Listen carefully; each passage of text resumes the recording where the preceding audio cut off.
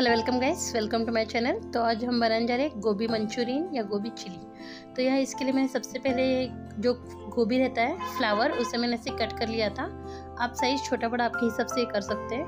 और फिर इसके अंदर मैंने एक पानी डाल दिया था गोभी भीगने तक। मतलब वो डूब जाना चाहिए गोभी उतना।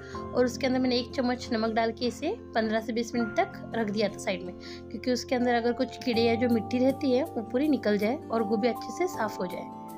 तो 15-20 मिनट के बाद मैंने इसे दो बार अच्छे से धो लिया था और गोभी को अच्छे से धोने के बाद यहाँ मैंने एक पतले में पानी गर्म करने के लिए रख दिया था और उसके अंदर मैंने स्वाद अनुसार नमक डाल दिया और वो पानी गर्म होते ही मैंने उसके अंदर गोभी डाल दी थी।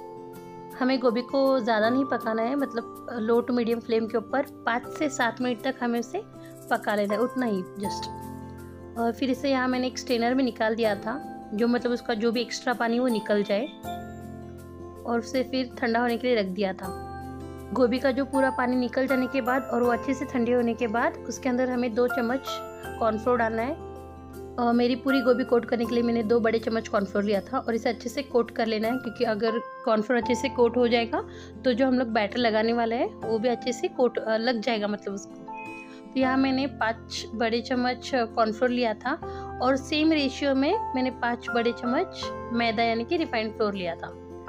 आपको रेशियो ध्यान रखना है, जितना चम्मच कॉर्नफ्लोर जाएगा, उतना ही मैदा जाएगा। टोटल कॉर्नफ्लोर मुझे सात बड़े चम्मच लगा था। यहाँ मैंने एक बड़ा चम्मच रेड चिली पाउडर ली थी, और आप कोई भी चाउमीन का जो मसाले का पैकेट आता है चिंग्स का वगैरह, वो आधा लेना है। उसे टेस्ट अच्छा आता है, और एक बड़ा चम्मच सोया सॉस और यहाँ मैंने अदरक, लहसुन की पेस्ट डाली इसके अंदर, और नमक स्वाद अनुसार। इसे हमें अच्छे से मिक्स कर लेना है। एक्चुअली मैं कलर डालना पहले भूल गई थी। इसके बाद मैंने कलर डाला था थोड़ी देर बाद। अगर आपको कलर नहीं डालना इट्स ऑप्शन है कलर अगर डालना है तो आप डाल सकते हो, नहीं तो भी चल जाएगा। और हमें बैटर जो अच्छे से मतलब करना है, क्योंकि इसके अंदर कोई भी गुटलियाँ ना रहे। काफ़ी एकदम स्मूथ बैटर करना है हमें। हमें बैटर बनाते समय पानी का एकदम थोड़ा थोड़ा स्टेप स्टेप में पानी डालना है। एक ही साथ अगर आप पानी डाल दोगे तो बैटर पतला हो जाएगा। तो यहाँ मैंने थोड़ा सा कलर डाल दिया था। आ, कलर इसलिए डाला था मैंने क्योंकि थोड़ा सा अट्रैक्टिव लगता है बच्चों को खाने में। हमने थोड़ा थोड़ा पानी मिक्स करके एक अच्छा सा स्मूथ बैटर कर लेना है। अगर बैटर एकदम प्रॉपर होगा तो मतलब जो गोभी है वो अच्छे से कोट हो पाएगी और फिर उसके बाद मतलब उसकी कोटिंग भी नहीं निकलेगी और जो हमारे जो मंचूरियन है वो भी अच्छे हो पाएँगे। यहाँ मैंने थोड़ा थोड़ा बैटर जो है गोभी के ऊपर डाल के इसे अच्छे से कोट कर लेना है। मैंने यहाँ एक गोभी के गड्ढे के लिए मतलब जो बैटर दिखाया था वो एकदम प्रॉपर था। इसलिए हमने जितना बैटर बनाया, हमें उतना पूरा लग जाएगा गोभी को कवर करने के लिए। तो यहाँ मैंने अच्छे से कवर कर दिया थोड़ा थोड़ा बैटर डाल के। यहाँ मैंने कढ़ाई गर्म करने के लिए रख दी थी और हम लोग जैसे पकौड़े मतलब तलते हैं, वैसे हमें इसे अच्छे से फ्राई कर लेना है। हमें ध्यान रखना है कि हमें एक बार में नहीं फ्राई करना है, हमें इसे डबल फ्राई करने वाले हैं। कि डबल फ्राई करने का रीज़न क्या है मेन क्योंकि वो थोड़ा सा क्रिस्पी हो जाता है और जो एक्स्ट्रा ऑयल भी निकल जाएगा।